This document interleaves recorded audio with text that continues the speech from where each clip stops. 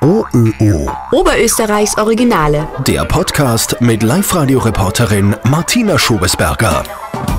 Wenn es nach ihm ginge, hätten wir heute alle frei. Adi Mittendorfer aus Bartal ist närrischer Bundespräsident, der Präsident von 140 Faschingsgilden in ganz Österreich.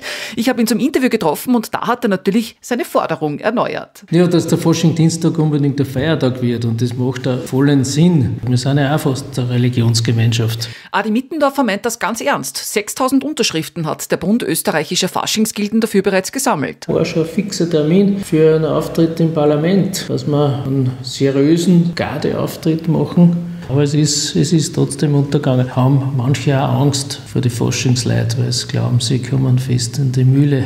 Aber unbegründet. Wir wissen schon, wie wir sie benehmen müssen. Ja, und heuer ist sowieso alles anders. Faschingssitzungen und Umzüge gibt's nicht. Aber so ganz ohne närrisches Treiben hält der 64-jährige Bataller auch heute nicht aus. Wir fahren so mit unseren Radeln im Clownkostüm, fahren wir halt einmal eine Stunde durch Partei, Hauptplatz auf, Kreisverkehr rundum und wieder zurück, ohne dass wir sie irgendwo zusammenstehen oder treffen. Aber Faschingskrapfen gibt's natürlich. Von denen vertilgt der närrische Bundespräsident 50 Stück in einer Faschingssaison. Aber verteilt auf drei Monate ist ja nicht so viel.